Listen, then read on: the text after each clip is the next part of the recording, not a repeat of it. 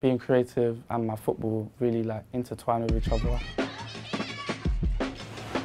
I believe in what I've created so far and I feel like I can take that further.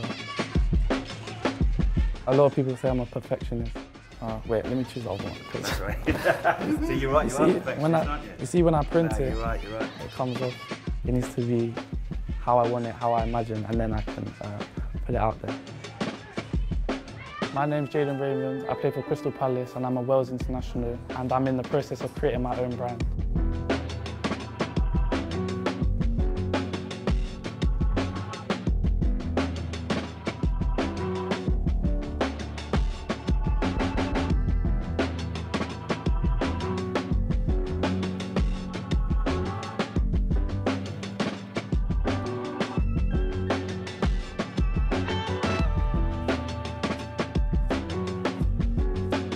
All of this started from my mum. Yeah, that's where my creative side comes from.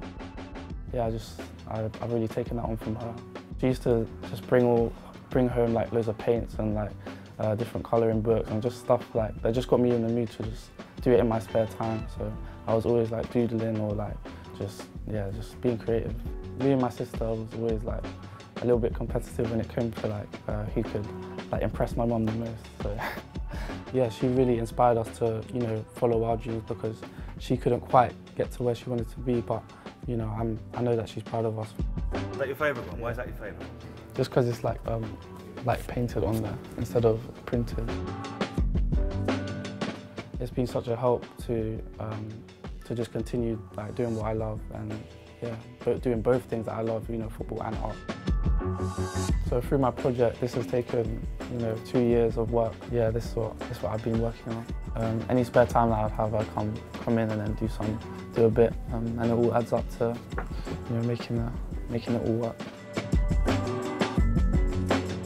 And talking about having your own brand, it's a thing that's relatively new in football. Is it? Is it something that's come from the result of this? I feel like as I've gone through my A-level project, um, I've managed to create a brand that, you know, that I would like to, you know, branch off at. So I feel like by doing this A-level project, it's allowed me to see like the possibilities of making my own brand and doing my own, um, my own business. Is that something that's, that's important to you? You know, not just the process, but also the, the, the end end result. Yeah, I feel like the the process is the is the like enjoyment part. I feel like um, the grade at the end is just something to show for it. But I feel like if I can use this to create something bigger, um, then it'll be more beneficial than a grade. So, yeah.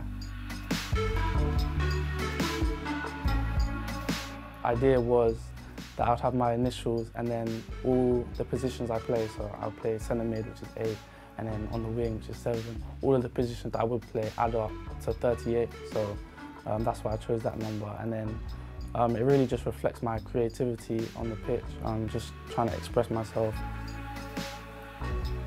More recently, it's been such a release from football because of my injuries. So whenever I get an injury, it just allows me to spend more time, you know, um, working on my, my own brands. It really helps me like take my mind off, you know, the bad situation of an injury and then put my energy that I would have been using on football into something else and then creating something that I would be proud of.